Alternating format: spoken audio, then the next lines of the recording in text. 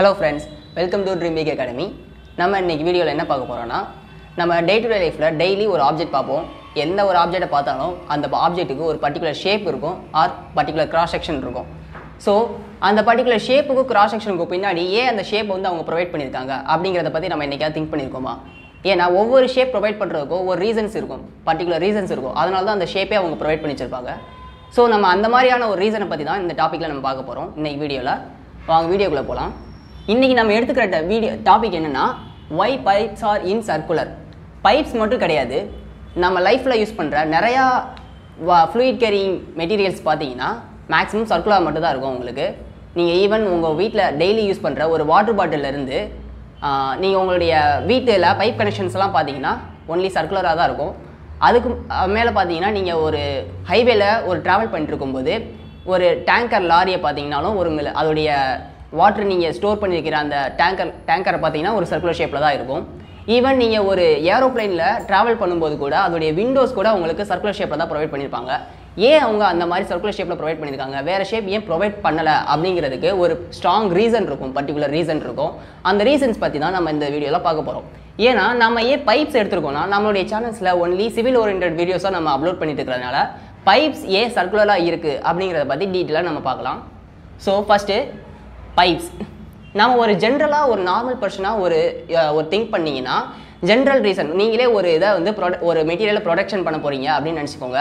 So first கா first தான் நீங்கள் என்ன பார்ப்பீங்கன்னா நம்மளது அட்வான்டேஜ் அதிகமாகணும். அதாவது காஸ்ட் கம்மியாக இருக்கணும் நம்மளுடைய அவுட்புட் வந்து அதிகமாக இருக்கணும் அப்படின்னு தான் நம்ம யோசிப்போம் எப்பவுமே ஸோ ஃபஸ்ட்டு இது வந்து காஸ்ட் வைஸ் எந்த ஒரு மெட்டீரியல் ப்ரொடக்ஷன் பண்ணாலும் காஸ்ட் வைஸ் மினிமமாக இருக்கணும்னு நம்ம எப்பவுமே யோசிப்போம். ஸோ காஸ்ட் வைஸ் எப்படி நம்ம வந்து மினிமம் ஆக்குறதுனா உங்களுடைய மெட்டீரியல்ஸ் வந்து கம்மியாக ப்ரொவைட் பண்ணீங்கன்னா காஸ்ட் கம்மியாகுமா? ஓகேவா சரி ஓகே மெட்டீரியல் எப்படி நம்ம வந்து கம்மியாக ப்ரொவைட் பண்ண முடியும் அப்படிங்கிறத பார்த்தீங்கன்னா இப்போ எந்த ஒரு ஷேப்புக்கும் ஒரு பெரிமீட்டர் இருக்கும். இப்போ ஒரு ரெக்டாங்குலர் ஷேப் ஒரு ஸ்கொயர் ஷேப்போ இல்லை ரெக்டாங்குலர் ஷேப்போ இல்லை ஒரு ட்ரையாங்கிள் ஷேப்போ சர்க்குலர் ஷேப்போ எடுத்துக்கலாம்.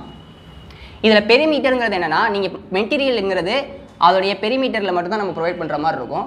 ஸோ மெட்டீரியல் குவான்டிட்டி நீங்கள் கால்குலேட் பண்ணீங்கன்னா அதோடைய பெரிமீட்டர் தான் மேஜர் ஃபேக்டராக இருக்கும். ஸோ அதோடைய பெரிமீட்டர் எப்போ கம்மியாக இருக்கோ அப்போ மெட்டீரியலும் கம்மியாக இருக்கும். பெரிமீட்டர் இன்க்ரீஸ் ஆக இன்க்ரீஸ் ஆக உங்களுக்கு மெட்டீரியல் காஸ்ட்டும் இன்க்ரீஸ் ஆகும்.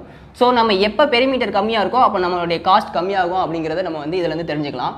ஸோ எந்த ஷேப்புக்கு மெட்டீரியல் கம்மியாக பெரிமீட்டர் கம்மியாக இருக்கோ அப்போ அந்த ஷேப் வந்து காஸ்ட் வைஸ் உங்களுக்கு எக்கனாமிக்கலாக இருக்குன்னு சொல்லலாமா? சரி ஓகே நம்ம ஒரு நாலு ஷேப் எடுத்திருக்கோம்.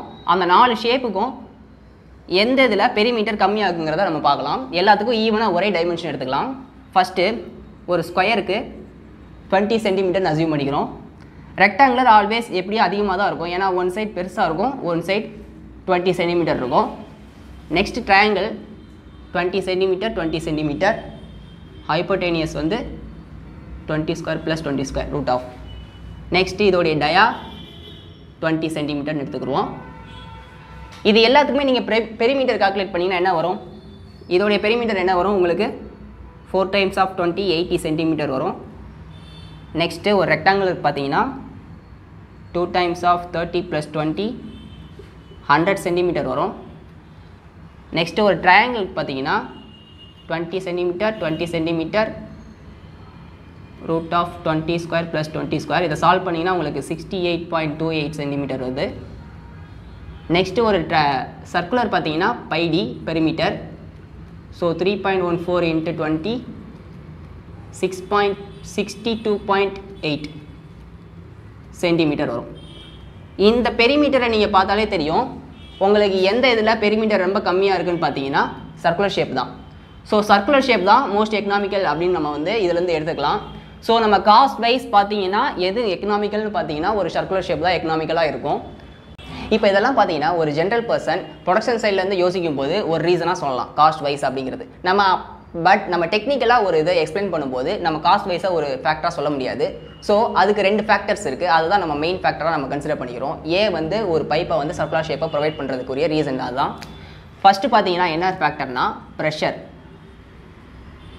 ப்ரெஷருங்கிறது ஒரு இம்பார்ட்டன்ட் ஃபேக்டர் ரெண்டாவது பார்த்தீங்கன்னா ஃப்ரிக்ஷன் லாஸும் ஒரு ஃபேக்டராக தான் இருக்கும். இந்த ரெண்டு ஃபேக்டர் தான் இம்பார்ட்டண்ட்டாக இருக்கும். அது ரெண்டையும் இப்போ டீட்டெயிலாக பார்க்கலாம் ஃபஸ்ட்டு எப்படின்ட்டு. ஃபஸ்ட்டு ஃபேக்டர்னு பார்த்தீங்கன்னா ப்ரெஷர் ப்ரெஷர்னு எடுக்கும்போது ஒரு சர்க்குலர் ஷேப்பில் இருக்கிற பைப்பில் இருக்கிற ப்ரெஷருக்கும் ஒரு ஸ்கொயர் ஆர் ரெக்டாங்குலர் ஷேப்பில் இருக்கிற பைப்போட ப்ரெஷருக்கும் கண்டிப்பாக டிஃப்ரென்ஸ் இருக்கும். எப்படின்னு பார்த்தீங்கன்னா ஒரு சர்க்குலர் ஷேப்பில் இருக்கிற வாட்டர் ஃப்ளோ சர்க்குலர் ஷேப் பைப்பில் வாட்டர் ஃப்ளோ ஆகும்போது அவருடைய சர்க்கம்ஃபரன்ஸ் அதாவது பெரிஃபெரியில் இருக்கிற எல்லா இடத்துலையுமே உங்களுக்கு வந்து ப்ரெஷர் ஈவனாக இருக்கும். எக்ஸாம்பிளுக்கு ஒரு டுவெண்ட்டி மெகா பாஸ்கல்னு எடுத்துக்கிட்டோன்னா அதோடைய சர்க்கம்ஃபரன்ஸில் எல்லா இடத்துலையுமே மெ அதோடைய ப்ரெஷர் வந்து டுவெண்ட்டி மெகா பாஸ்கல் தான் இருக்கும். ஸோ இதனால உங்களுக்கு என்ன ப்ளஸ்ன்னு பார்த்தீங்கன்னா ப்ரெஷர் ரெசிஸ்டிங் கெப்பாசிட்டி வந்து ஒரு சர்க்குலர் பைப்புக்கு அதிகமாக இருக்கும்.